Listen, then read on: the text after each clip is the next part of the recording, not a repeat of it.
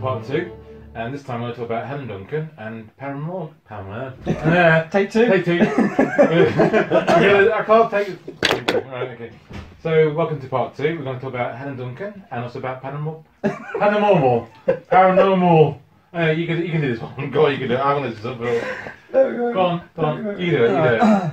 You do it because I can't talk. This is what we like all the time. Yeah, I can't talk when I'm uh, when I'm nervous. Um, okay, stop it. Right. okay, welcome uh, to part two. Um, obviously, we're still with Ben Emlyn Jones. Um, uh, the second part, we're going to be discussing more uh, paranormal. Yeah. Uh. Hey. Oh. um, and focusing a lot on Helen Duncan as well. So um, over to, to Ben and, and to, uh, first of all just a brief overview of, of the paranormal, the world of paranormal and, and how it relates to Helen Duncan. Well, certainly. Well, the paranormal is a difficult word. to Yeah, define. yeah. Mhm. It, And so. yeah, that's hard to pronounce. Yes, Yeah. but it from it primarily means things that um, can't really be, will have no explanation currently in the scientific world. There's no currently any scientific um, conclusion that actually Yeah. defines these things as how they work, how the functioning of them. Now, um, obviously, the what we call paranormal changes over time. So, for example, there was a time when lightning was paranormal.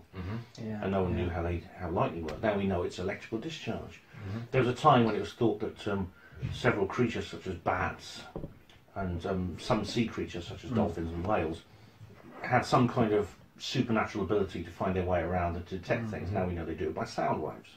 Mhm. So the paranormal essentially is something that we can't yet explain, but might be able to explain in the future. And it very often changes because we explain one thing and other things appear. Mm. And what you include in the paranormal is um, some things such as ghosts um, and um, telepathy, Mm. psychic powers, precognition, mediumship. Mhm.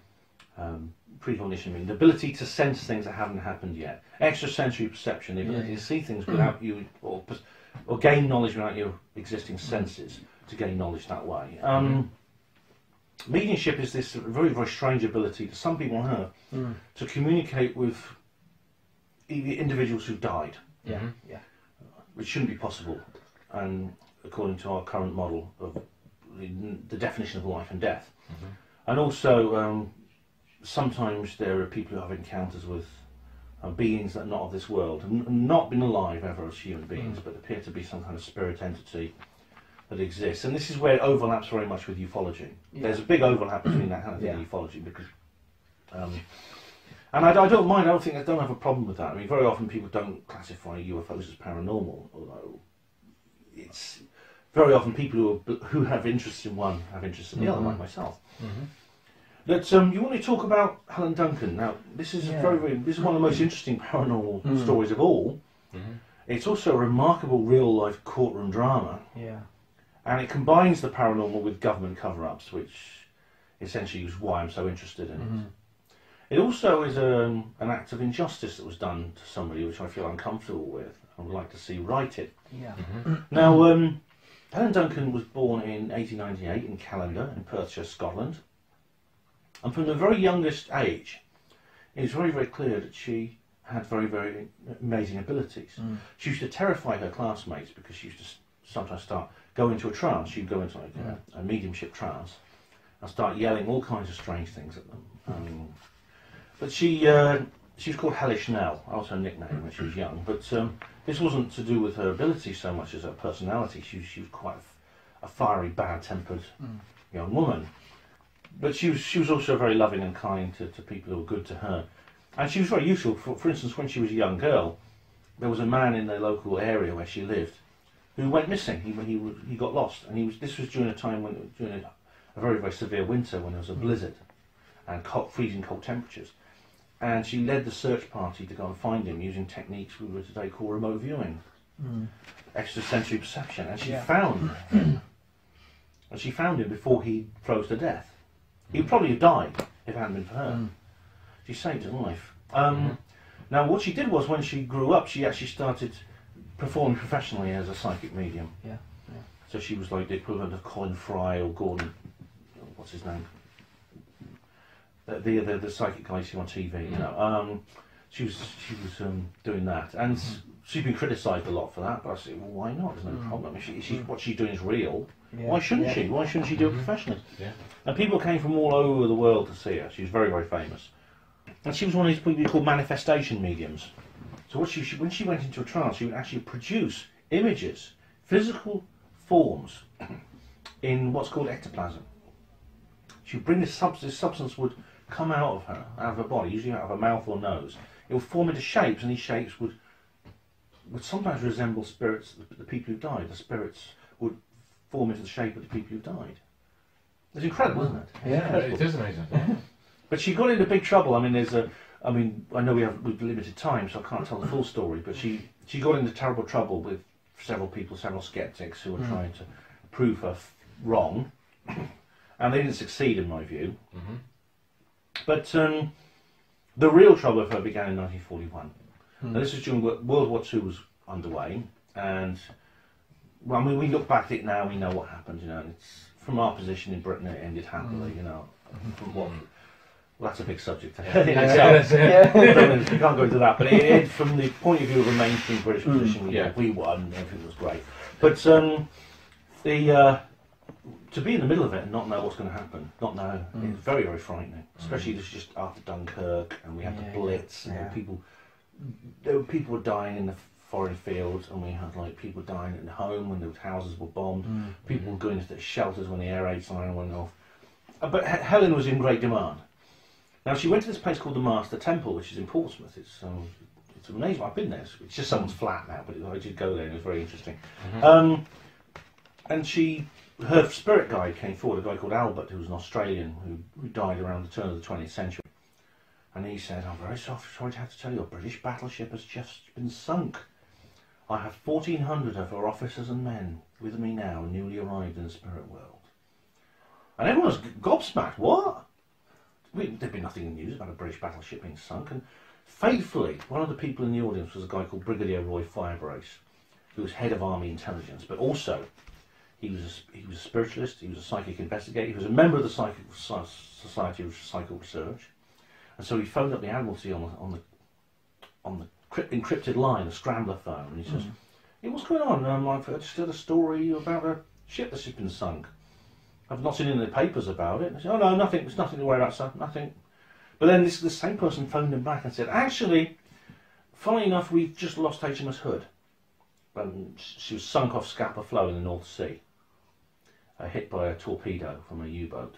And um, but the thing is, this hadn't been reported in the media, and Firebrace had to go directly to the Admiralty on a cryptic line, which only he had access to to get that information. And apparently, it happened just before Helen began her Right. because the ship had sunk. And you can imagine, I mean, we know he was concerned because there's a letter which his daughter has, his daughter's still alive, where he, he writes to the, the government, he writes to the War Office specifically recommending that they keep an eye on Helen Duncan. Because, I mean, he understood, he would have understood the implications of this immediately. You know, 'cause, um, essentially, I mean, this was not classified, but it could have been. This could have been classified information. And she may, it's possible she might give out classified information through the testimony of the dead. I mean, you often hear in these films, these Yeah. spy thrillers, you know, we had to kill him because he knew too much. Mm. But what do you do if you can't silence someone even by killing them? Yeah, yeah. It was a situ- really a situation.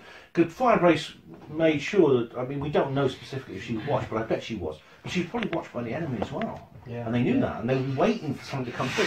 Now, in 19, in, in um, later in the year, she was back in the Master Temple, and another ship was sunk. This is HMS Barham this time. This is a Now It Can Be Told story. 4.25 in the Mediterranean on the afternoon of November the 25th, 1941. A salvo of torpedoes fired at close range struck HMS Barham. The stricken battleship heeled over to port. Within four minutes of being hit, her after magazine blew up. Another Admiralty class battle cruiser, one of the most powerful ships the Royal Navy possessed. And because morale was very low at that time, mm. the government decided to keep it secret. Even some of the relatives were not informed immediately. But Helen Duncan, in her, yeah, she was in her seance at the Master Temple. Albert came forward. I'm sorry, another British battleship has been sunk. I have 400 of our officers and men here, newly arrived in the spirit world. And one of them came forward in ectoplasm. He was a young man, who, and he was in his navy uniform, his square rig, and his mother was in the audience and recognised him. She had no idea that he was dead.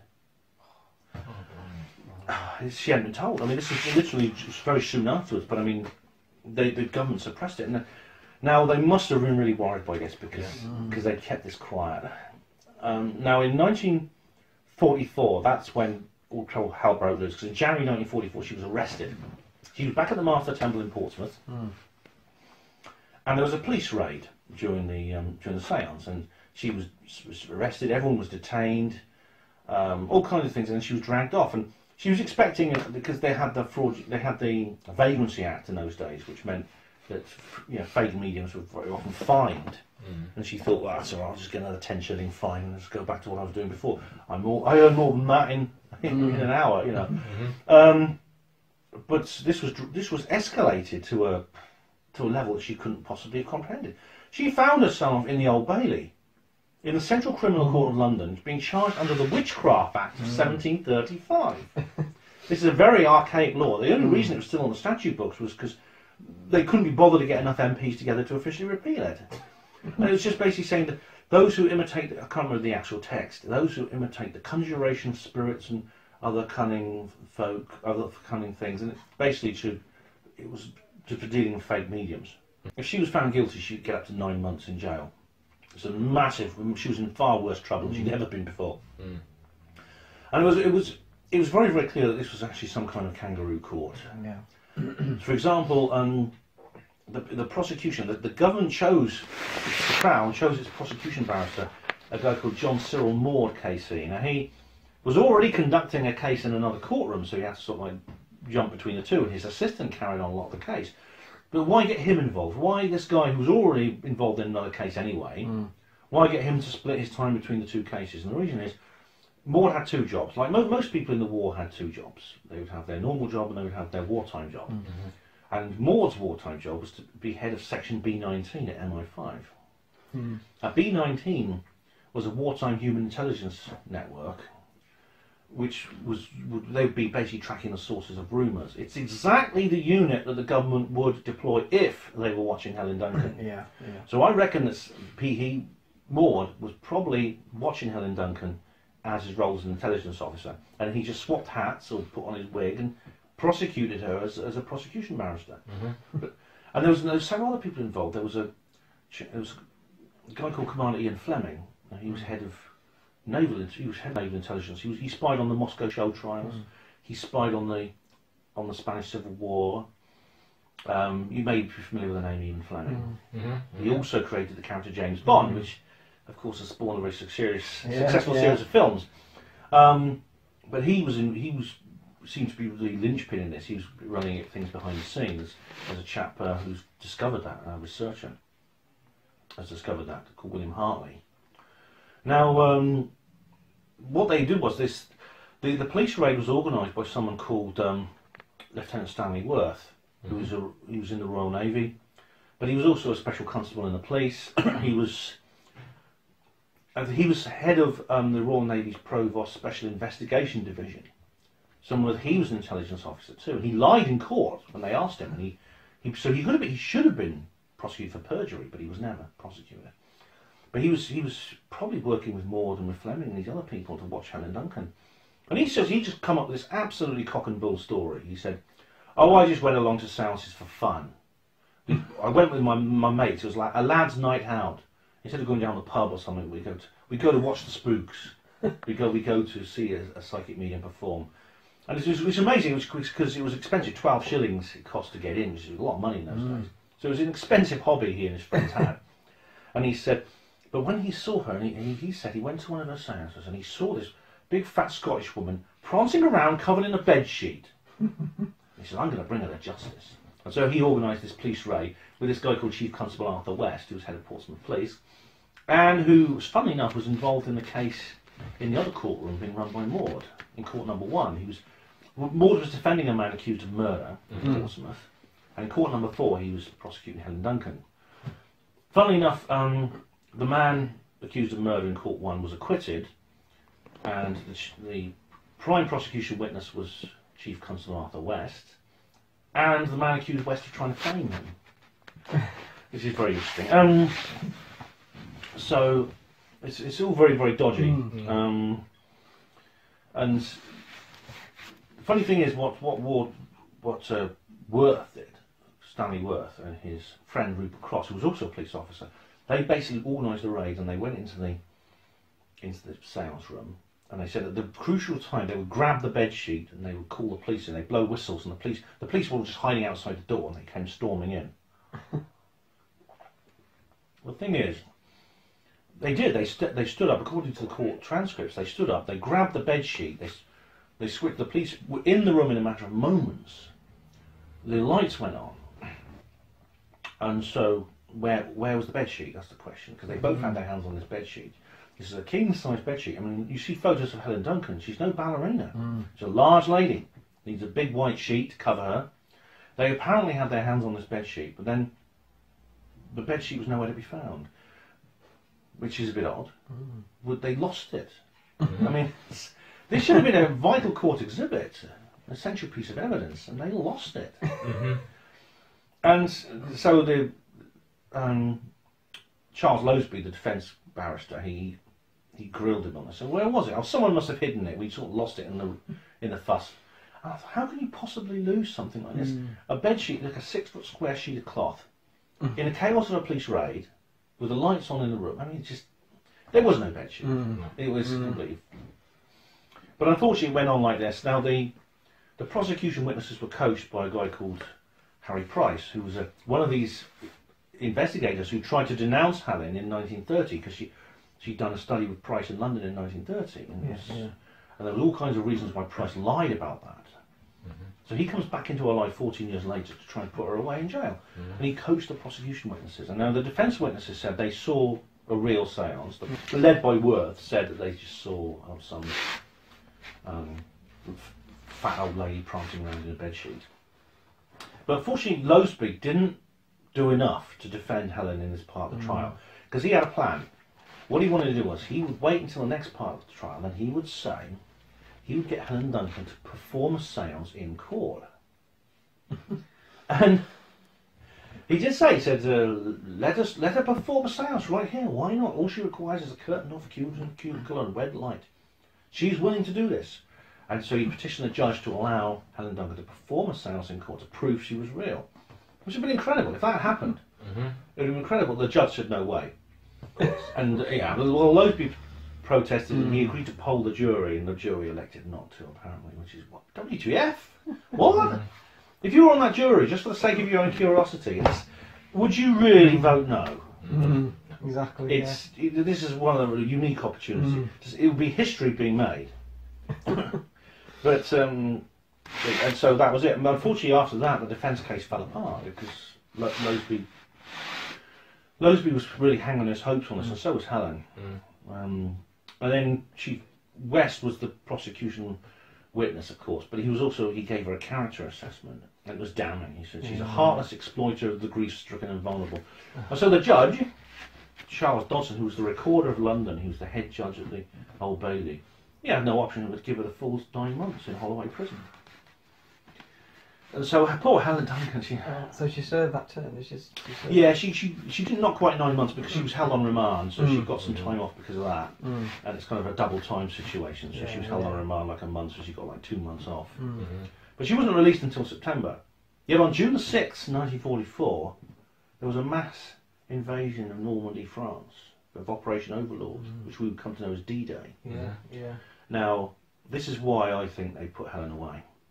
In November of 1943, there was a disaster. Because the thing about D-Day was planned a long way in advance, and a lot of people knew about it, and there was a lot of disinformation to try and fool the enemy into thinking Mm. that it wasn't going to happen, that the Allies were going to invade through Italy. And Fleming himself was involved in this, planting fake documents on bodies and things like that for the enemy to find. Yeah. Yeah. Oh. Um, but just imagine what happened in, in November. There was um, a training session because they they actually built a fake village in in Dorset, to, and you can visit it today. It's a museum piece, just to for, for the for the training for D-Day. One of these landing craft, you know, the type with the ramp at the front. Yeah. Yeah. Yeah. It was it was exercising off the coast, loaded down with troops. It sank. Everyone on board drowned. So there's about hundred people like floating around in the spirit world with, who knew the secrets of D-Day, Mhm. just waiting for Helen Duncan to come. For, I mean, I don't, I don't know why they would say things that were classified, but who who knows? I mean, they don't think like we do. They're spirits, but the government thought, my God, one of these guys needs to come forward in the audience and say something about D-Day, and then just one enemy agent in the audience needs to be there, and it's all blown. Yeah. Yeah. yeah. We need to get Helen Duncan put away. We need to put her somewhere where she can't practice, Mhm. just until this is all over. And I think this is why they concocted this false case against her. And it's very, very sad. I mean, Helen, Helen came out of prison, Mhm. but she was very bitter about the whole thing. She was very angry that she'd not been allowed to perform in the court. Mhm. She never really got over it. She went back to practicing mediumship. In 1956, she was in, in your neck of the woods, West Bridgford, south of Nottingham. Oh yeah, yeah, yeah. and she was at the Spiritualist Church there, which is a room in someone's house. I went there too, but the people there, the people there were really Mhm. hostile. No, there's no way they would let me film in there now. and They would, they really didn't want to. So even after all these years, it's still really, really, people are really worried about it. Because what happened was, there was another police raid, and this time Helen was really badly injured. Um, if you disturb a medium in trance when they're exuding ectoplasm, a Mm. manifestation medium, it can cause them great injury. Mm-hmm. In Helen's case, she got secondary second degree burns right down the front of her body. Um, and she wasn't taken to hospital. The police were like really were, were detaining her and everything like that. It was really awful. And then, and then um, she went back to recover. This was in November of 1956. This happened. Mhm. She went back to recover in her home in in Perthshire, Scotland. But a, a few weeks later, she died. Was it from the injuries from? Mm. from It's a, it was put not put on the death certificate. She was not a well lady. She was, Mm. she was had health problems her whole Mm. life. But there's no doubt that this exacerbated her existing yeah, yeah, poor health and contributed, yeah. yeah, it contributed to her Mm. death, I, I believe. Uh, but she's been in touch ever since, apparently. Wow. Mhm. Yeah. Hmm. Much as an example Mm. of the way this relationship between the paranormal and, and warfare. And it's, it's not new. I mean, it's, it's, it's not unprecedented. For Mm. example, Alexander the Great used to consult a soothsayer before going into battle. Oh, And yeah. Julius Yeah. Caesar had his own personal soothsayer who went around. A soothsayer was the equivalent in those days Yeah, of a medium, who used to accompany him on his campaigns and advise him. And um, well, th- there's the famous story of in France of the, the young peasant girl, 14-year-old Jeanne Roumet. The king put her in charge of the French army Oh. because he believed she was getting divine inspiration. And thanks to her, this just young girl who knew nothing about the, the military, the French still managed to kick the English at the, the siege of Orleans. and of course, the English unfortunately captured her and burnt her at the stake. Yeah. We know the, the story of Joan of Arc Mm. very well. Mm. Mhm. And during the Cold War, there was a, both sides use remote viewing techniques in, on, against the other. There's a guy called Ingo Swann who's written about this. Um, and Uri Geller, the famous Mm. performer, who's well, basically he, he, I think he's when he's performing, he doesn't use real psychic powers. Yeah, I think yeah, he's just a fraud. But he was recruited by Mossad and the CIA. Yes, I heard that, yeah. Now this is yeah. he was tested at the Stanford Research Institute in 1972 by some, two guys, Russell Targ and, Hal Puthoff, and they said he was real. And then everything goes a bit strange because then he becomes like a a pop celebrity Mm. psychic, and just doing these tricks which the skeptics can pick apart. But on the other hand, he, he admitted in 2013 that he this time he'd been working for the CIA and Mossad. And what's more, he'd spied on the Arab- Arab-Israeli Yeah, war yeah. and the Six Day War, stuff like that. And he and he'd been, he'd been used to do all kinds of remote viewing operations. That's, Mm. it's, uh, I remember seeing a doc- documentary, I think Andrew pulled up as well, a documentary when he was with Edgar Mitchell.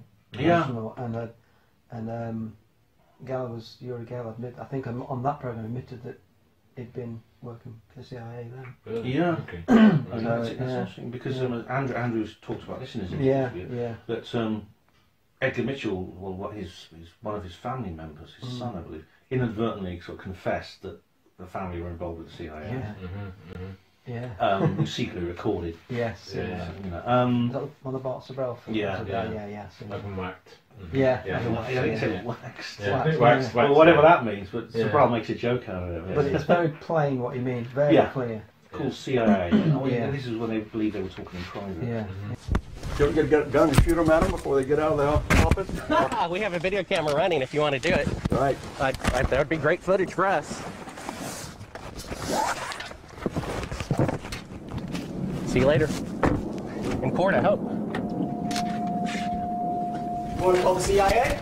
Have them waxed. But isn't that um, isn't that odd? I mean, there's this connection with these various people, Yes, and yeah. um, Geller with the fact that he was so successful as a celebrity. When, Mm. when I mean, a lot of magicians got angry with him. I mean, he's not just a skeptic, it's because he was basically just he only had about three tricks, Mm. and they were just like the the bending of the spoon, Those and, are and- favourites, and- aren't yeah, and a couple of others. I mean, but is this. But there's loads of magicians who do much better tricks Yeah. than that. And I said, well, why is this guy so famous? why is he so successful? And the answer could be that he was just simply, he was um, Promoted. shamming. He was shamming the whole thing yeah, yeah. and saving his real talents for his secret work with the government. Yeah, yeah. You know, and um, Ingo Swann, his book is he's, he's died now, unfortunately, Ingo Swann. But he was he was recruited by the CIA, and he did remote viewing and things like that, paid handsomely for it. And then afterwards, he, he got involved in freelance work. Another guy is Ed Dames. That's another one. He's quite Yeah, famous. He yeah. does like remote viewing course courses, and he can teach people how to do it. Um, he was also involved in several government projects. Um, so, I mean, a massive amount of resources has been spent in, on developing this uh, system, which supposedly doesn't exist. Yeah. If you ask a, for a public statement from the government, they'll just send back saying, "We don't know what you're talking about. This is Yeah. nonsense." And the need on the media, it's, it's again, it's treated as a novelty. Yeah. Of course, it's the plot, and the, it's, the supernatural, of course, is a plot of lots of different horror horror movies. In fact, it's the staple of the horror movie Yeah, yeah, genre. is, yeah. Uh, It's, e- it's either like the c- supernatural horror or sci-fi hmm. horror. You know, those are the general two sides of the horror genre. But I mean, and people just watch that and think, well, it's just fictional. You know. Mm-hmm. That's, I suppose, part of the cover up into it as well. Mm. But I mean, uh, it's quite scary to contemplate this. But Yeah. there mm. are several horror movies that are based on true stories. Oh yeah, yeah, mm-hmm. yeah. You know, very often they are s- they are sexed up for the cinema. Yeah. But they are still very, very re- mm. really done. I mean, there's um, this really horrific, terrifying film called The Serpent and the Rainbow, which is about voodoo, Not seen that. um, which is really, really scary. But it's based on a study by a guy called Wade Davis, who's looking into the zombie phenomenon. Uh, I know it's, it's you've got to reassure yourself by looking at the factual side of it after you've watched the movie, because you think this is real. It's, it's terrifying. Uh, zom- What was your What's your thoughts on zombies? I know that I mean films very popular into Mm. zombie films. They're, they're ten to a penny, aren't they? Yeah. Oh man, and the, I've done an entire presentation on this. Mm. Yeah, um, I know we don't have much time left. Yeah, but yeah, in yeah. a nutshell, there's several different things associated with zombies. I mean, zombies go back a long way. They originate in, in Africa, Mm. where the, the the sorcerer, the dark shaman, would possess, would reanimate the body of a Mm. of a dead person, a corpse, and basically use it as a, a mindless slave or Mm. It would Yeah. obey or trust using various spells. And of course, this is absolute staple for horror movies. Mm. I mean, the the classic ones, of course, are the George A. Romero movies, Yeah. which are which is where you get the idea of the zombie, which attacks living people and Mm. eats them. Eats them, yeah, If yeah. you survive an attack, you become a zombie Yeah, and things like that. yeah. The, now, what the funny thing is, though, that is is this you've been used as an allegory for something real? I mean, we have like a really weird situation where a Freedom of Information Act request was was done by the Guardian newspaper, and this is really interesting because they treat it as a joke, but mm. of course, when they when they contacted Bristol City Council, it turns out that Bristol City mm-hmm. Council has a zombie preparedness plan, and it's done in all seriousness, all seriousness. And when they wrote back, they couldn't believe how what, when the council wrote back what they said. There is a team that are regularly trained in zombie handling techniques. There are different levels of alert. You know, there's a alert status four five four three two one. Zombie ende- zombie pandemic level is is one, and I thought everyone thought it was maybe just like a Christmas joke. They, they, mm. Then because disaster preparedness can't be a very cheerful thing to be involved in. You need to lay your hair down. But it turns out this is actually completely and utterly serious. Not only uh, and the the government are spending you know council taxpayers' money on this sort of Yeah, thing. yeah. The, the, the local the local crazy. governments in Bristol, the local authorities, Yeah, the yeah. council, and and there was some idea that this may be used as an as an allegory for something else. Maybe it's code. Maybe it's code for say civil unrest. Mm. Yeah. And they just didn't want they didn't and they were just using zombies as kind of an allegorical code to hide what they were really doing. But it turns out there are several details involved in the in the document which seem to be pretty specific to the zombie phenomenon. I'm like, what's going on? And then I found out that the Centre for Disease Control and Prevention in the United States of America also has has a zombie preparedness thing. And this is really weird because there's this um there's Rear Admiral Ali Khan, who is the head of in, he's the head of um, disaster preparedness at the CDC. Mhm. And he has a blog where he was writing about what would happen if there was a zombie outbreak. That's right, a zombie outbreak. And he said, "What would you do?" This is like part. He was. He said, "What would you do?" Um, and he goes into several details. And at the end of this, almost as an afterthought, he says, "And also prepare for other things such as, um, you know, a, a tornado or a or a terrorist attack or something like that." And I thought, and then I thought again, maybe he's using code for something, you know. But then, because for, for, for like problems with diseases, but then there, there come several specific details related to zombies comes out in this document. For example, there's zombie killing techniques, and again, it's it's the same thing you see in the horror movies, like with in the Romero films. They say severing the head or destroying the bla- the brain through blunt trauma or gunshot. And of course, this is what you get in the Romero films. You've got to whack them hard over the head with, with an instrument, or shoot them in the head, and that's the only way to kill a zombie, or to, to make it properly dead. And um, I just thought this is, uh, you know, what it just doesn't make sense that they would put these details mm. in. And then there was this other disaster preparedness document that came out of the De- of the Department of Homeland Security mm. that talked about very very distinct details to do with zombies. For example, different kinds of zombies. There were the um, there were the there were the traditional ma- zombies, which they called evil magic zombies. Mm-hmm. This is a serious government document Crazy, which, in which the mm. police and the, the, the Centre for Disease Control, FEMA, Federal Emergency Management Agency, and, and the military are trained in. a serious document. Um, evil magic zombies, the traditional kind, animated through um, evil, you know, black magic. There were the um, radiation zombies, which are created by radiation from space. Um, the chicken zombies were quite funny. They're, they're farmyard poultry that have been reanimated. And the, there was a really funny one is vegetarian zombies. Believe it or not. These are zombies which are, it's a, they're no direct threat to human life, but they, they can inadvert, they can indirectly affect human life because they gobble up farm produce in vast numbers. So they'll, they'll like eat crops in fields and things like that. They're rather like locusts. They're not dangerous in themselves, but if they attack, the results could be could be devastating because there'd be famine. Um, Amazing. I laughed when I read this, but I mean, there's several documents. There's there's a whole page on on um, the the legal implications of, of killing zombies, about how you discern real people from, you know, living people from zombies. And indeed, in the, in the film Night of the Living Dead, at the end, remember the the main character, he Oh, gets yeah. killed. He gets Yeah. killed by the man who thinks he's a zombie. Um, so they go through that. there's a long li- list of legal documents related to this, and I thought, if this is some sort of, if this is some sort of code, if this is some kind of, they're preparing for civil unrest or a, a, a disease pandemic mm. or some kind of major natural disaster like an earthquake or a tornado, etc. If they're doing this, and then they they bring in details like this, it just doesn't make sense. Mm. Mm. It, it could only Yeah. make if they are actually preparing for real zombie outbreaks. Mm-hmm. And I just thought, what is going on? It's a bit crazy, isn't it? Mm. And I um, still, I'm, I did a whole presentation on this, and I still haven't come to to, to a definitive conclusion. I must say, but it just it's uh, pretty scary. Is the presentation on YouTube? Yes. Oh, Okay. right. Well, You can watch it on YouTube. Yeah, yeah. There are several different versions. The most recent one is the 2015 one, which is the best, I think. Mm. Okay. We'll put that in That's the studio with one, yeah, that, yeah. yeah. That's the studio version. But so, um, since I did that, I've not actually done that presentation Mm. since, but I do. Maybe there'll be an update, and I'll I'll do it again if I find out Mm. exactly what the hell's going on. Exactly.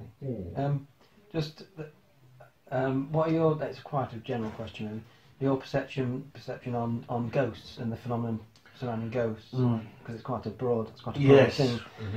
what they are, I mean, it's hard to say because it's Yeah. possible we call ghosts might be more than one phenomenon. Yes, yeah, yeah. um, which we have generically categorised um, incorrectly as a Mm. single phenomenon. yes, yeah. Some of them, I mean, I mean, they could be due, they're, they're sort of things that appear like big clouds. Some of them are big clouds of vapor that just appear.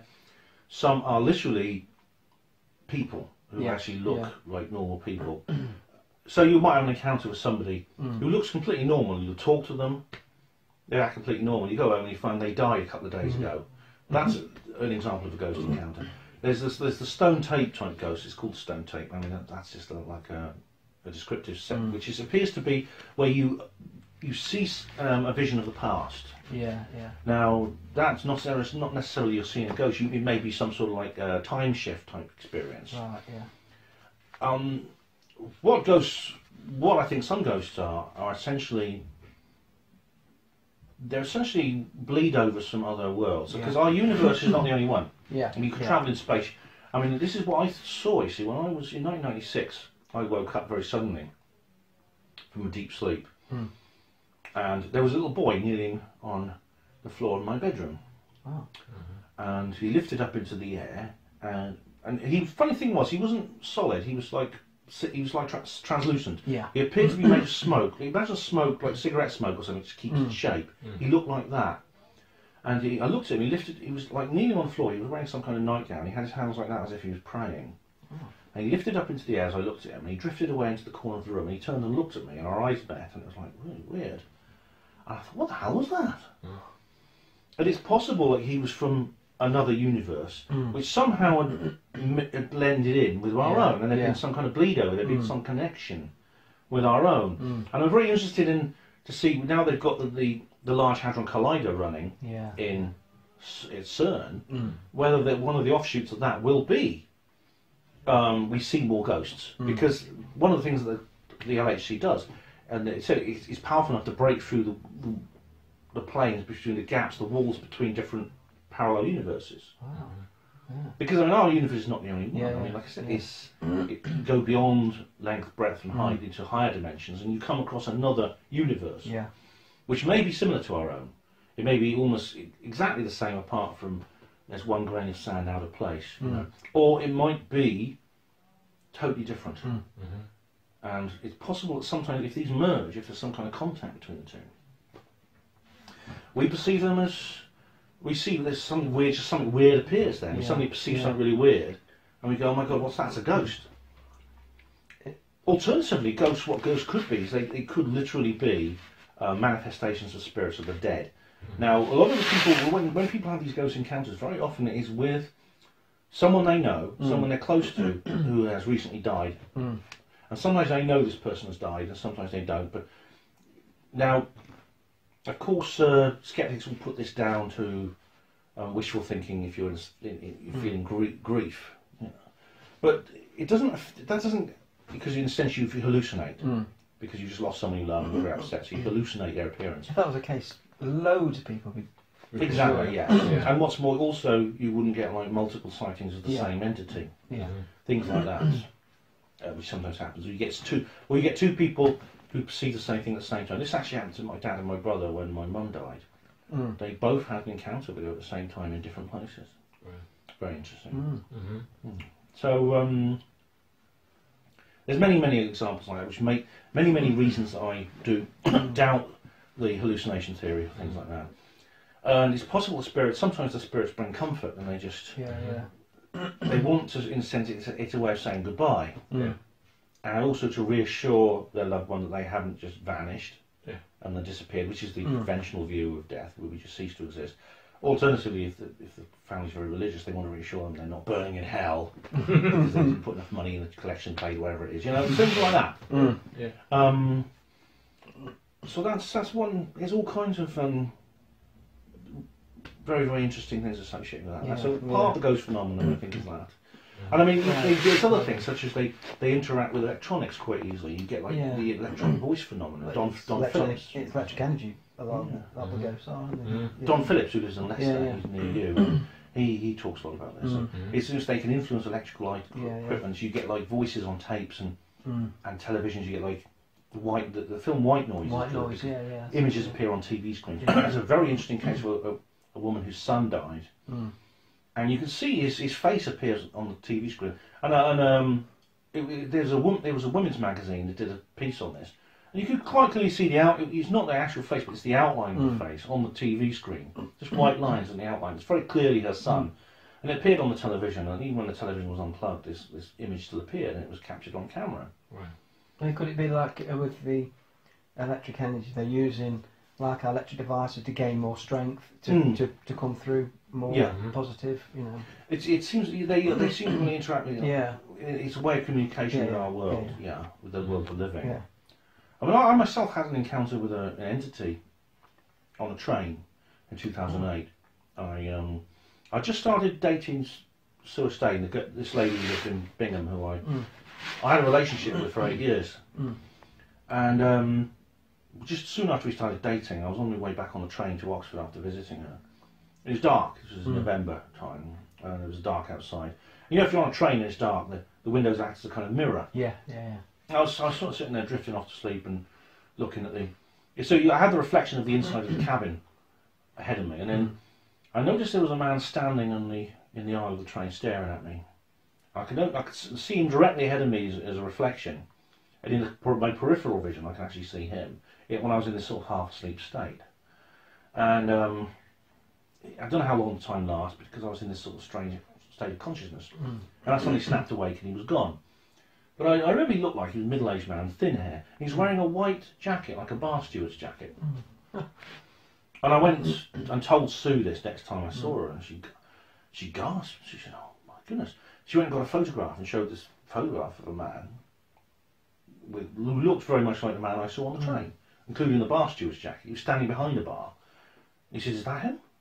I said, "It looks a bit like him. Could be. Can't be certain, hmm. but." You know, my eyes were slightly blurred, but it does look like him.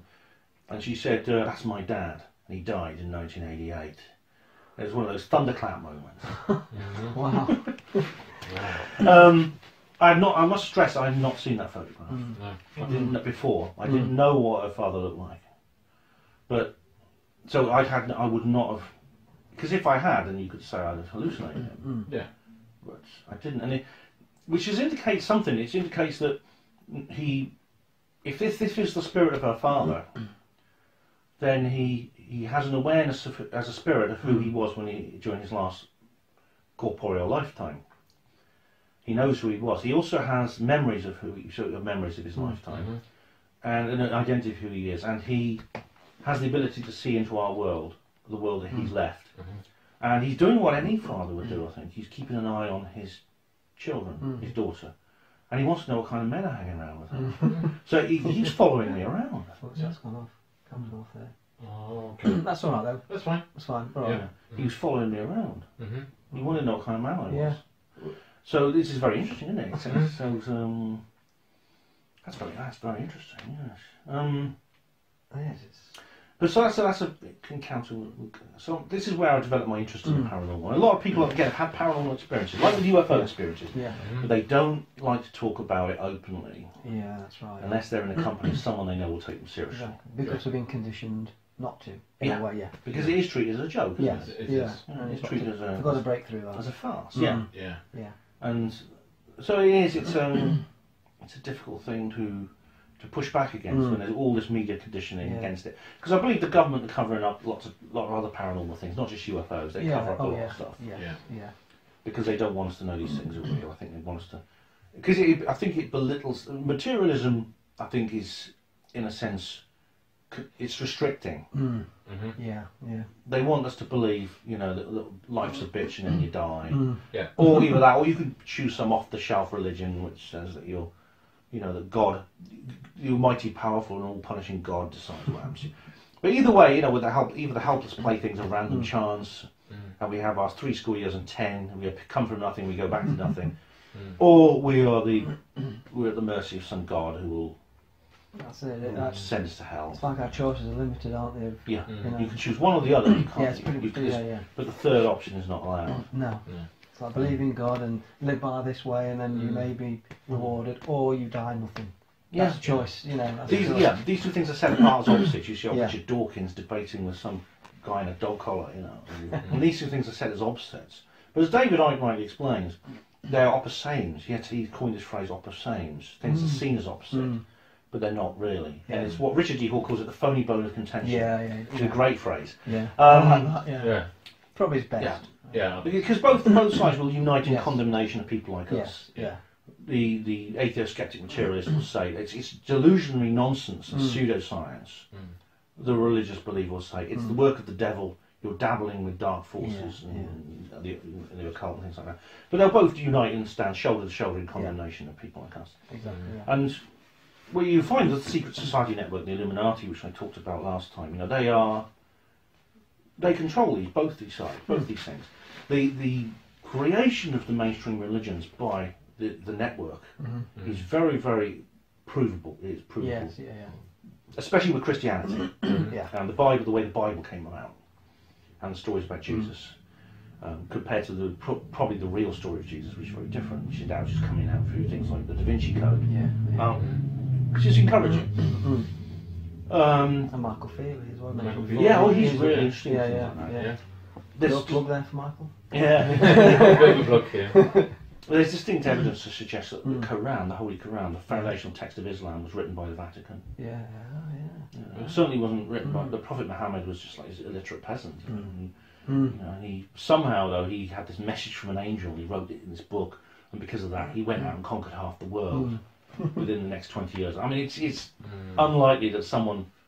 You know, he would have just been. If, if that really happened, right, he would have just been laughed at like all the Yeah, other yeah. people Yeah. who claim to be prophets. It'd be like the famous Monty Python scene where they're all lined up, and, you know, when they're all lined up along the Wailing Wall and they're saying all kinds of daft things. Yeah, People yeah. just laughing at them. Mhm. Yeah. So the, the network, the Secret Society network, create a religion. It uses religion. Um, it uses religion as a, a tool of all kinds of ways to subvert Yeah, our oh, natural yeah, spiritual yeah. instincts. Also for political conflicts and things like that, which I think is what Islam is being used for in the world Yes. today. Yes. That's a big subject, but I think it is being used It's- as a it tool seems- for that today. Very likely at the moment. Definitely. It's being used as a weapon, Mm. a psychological warfare and cultural warfare weapon. Mm. Um, so there's all kinds of ways that government can use religion, and of course there's the priest. The priest. What's interesting about the Bible, I mean, the Bible, the King James Bible, which is the English vernacular version, is not the first English Bible. Mm. A guy called um, John John Wycliffe, his name was, I believe. Mm. Um, I think 300 years earlier, he wrote a translation of the Bible from the Latin, right here in Oxford. and um, do you know what happened to him? He was lynched by a gang of priests. Really? Wow. So that's how they punished him. Mm. His Bible was destroyed. And um, the uh, this this says an awful lot, doesn't it? It says that the priesthood don't want people reading these things for themselves because the, the, the, the Bible was all in Latin in those days. The Latin was thing about the Latin. The Latin was translated from the Greek. The Greek was translated from various things in Hebrew. um, it was edited heavily by people like Saint Jerome. Mm. And there's the Council of Nicaea, which is Oh, where, yeah, yeah. where where basically Christianity was adopted by the Roman Empire. Mm. It was a pretty rough. I mean, twelve people got killed at the Council of Nicaea, Mm. murdered. Mm. So it wasn't a civilized debate. No. That's where the Nicene Creed comes from. Yeah. every- people in church recite at every service. Weird, weird world. isn't it? Yeah.